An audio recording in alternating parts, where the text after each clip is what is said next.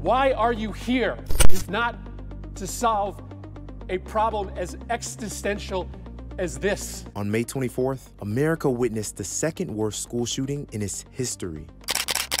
Oh my goodness, we have just gotten devastating news. Investigators are now saying the accused gunman barricaded himself inside a classroom, killing 19 children and two teachers inside that classroom.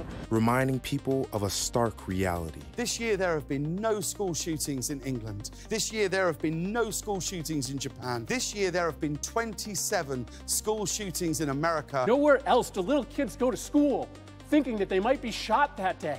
When are we gonna do something? But why does this keep happening in the US and what can be done to fix it?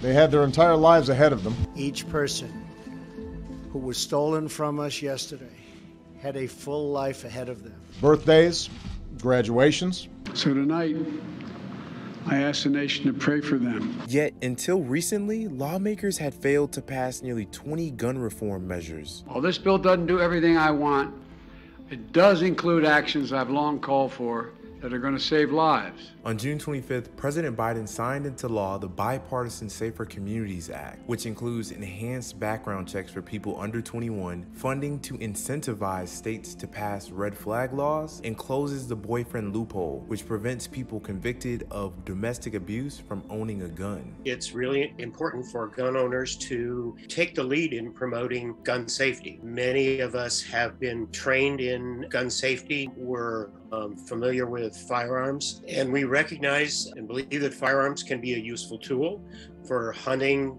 for uh, target shooting, but they're they're also a deadly weapon, and gun owners have a responsibility to um, help ensure that these weapons are not used to harm the public. And although a recent CBS News poll found that 54% of Americans want stricter laws covering the sale of guns, there's still a stark divide along party lines. Sit down. You're out of you're out of line and an embarrassment. Hey, after sit, sit down and don't play this stuff. The next shooting is right now, and you are doing nothing. Democrats in this case who are in favor of, of stricter gun control measures, uh, really pushing for progress on that. And you will see Republicans making comments about it's not guns that kill people, it's people who kill people, and a discussion, no doubt, of mental health. Anybody who shoots somebody else has a mental health challenge, period. From past experience, that the most effective tool for keeping kids safe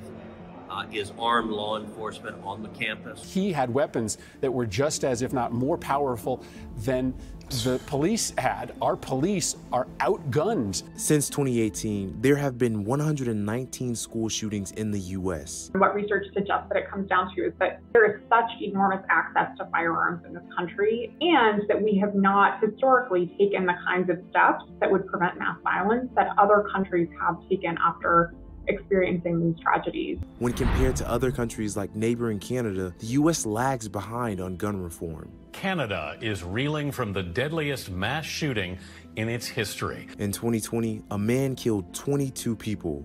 Their families deserve more than thoughts and prayers.